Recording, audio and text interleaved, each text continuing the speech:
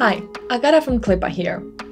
Let's say your business has to process all kinds of documents, such as bank statements, salary slips, or identity cards. Most of the time, these files come in an unstructured PDF format, which makes it hard to process them manually. More so, the hassle is even bigger if you need to enter this data into your accounting software or company database, which usually uses a completely different format.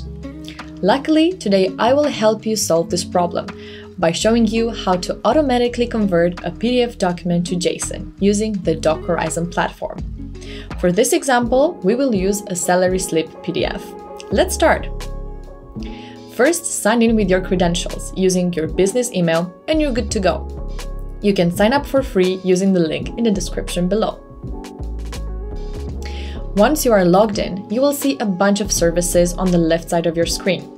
To start the PDF conversion process, you will need to build a workflow using the Flow Builder. Here you will add a new flow. Let's call it salary slip conversion. And then click Create. Next, you will have to select the input place. This is the location of your PDF documents, which can be a Google Drive folder or even an email attachment.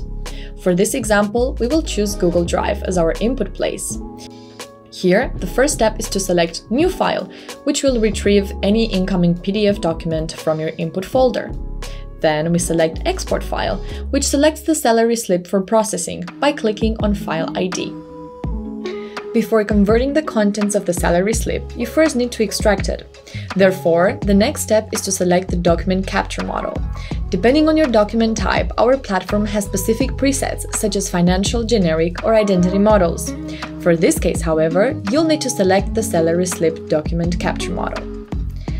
By default, the extracted data is converted to a JSON format, which makes the document ready for any further processing. You can download it as it is or connect it using our API to any other application you want, such as Google Drive, accounting software, or your business's database. In this case, we will select Google Drive as the output destination and show you the extracted data in the JSON format. To do so, first you will need to add the Files component from the left side of the screen and select the Save File option. This is necessary in order for the platform to understand that your JSON output is in fact a document. Then, after you select Google Drive as the output destination, select the file ID corresponding to the previous component. And then we can start the flow. Let's just add the salary slip to our input folder, which take just a couple of seconds. Here it is. And if we now check the output folder, let's go, uh, we can see the same document, but in a JSON format.